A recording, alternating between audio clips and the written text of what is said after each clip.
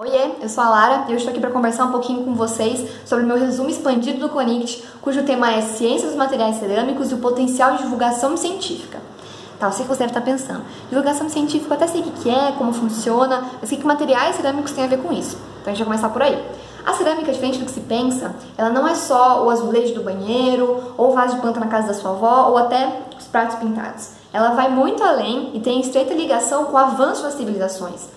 Já que lá no Paleolítico, sabe, no nome das cavernas e tal, já foram encontradas ferramentas feitas de cerâmica, o que acabou contribuindo para a evolução de nós seres humanos.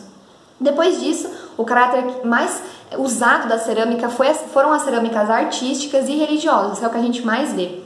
Isso, em conjunto com as cerâmicas é, de revestimentos, azulejos que eu já comentei, formam as cerâmicas tradicionais. Depois, no século XX, a partir do estudo atômico da cerâmica, ou seja, olhando microscopicamente as suas estruturas, foi descoberto um caráter tecnológico na cerâmica, que é a cerâmica sendo usada para é, os eletrônicos e também para construção civil.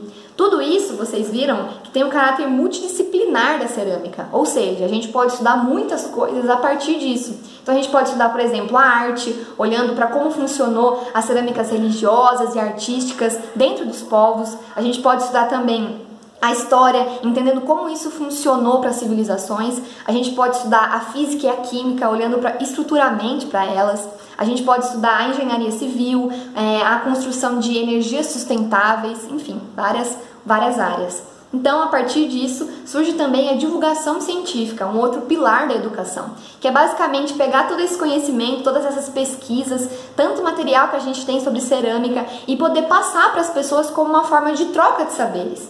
É passar isso como uma forma entendível. Então pensar aonde isso pode ser divulgado, como, de que maneira, enfim, é isso basicamente que funciona o meu projeto, do qual faço parte, o Ceramicando. Então a gente pensa de maneiras de a partir da cerâmica ser um tema gerador para outros debates sociais também. Então é isso.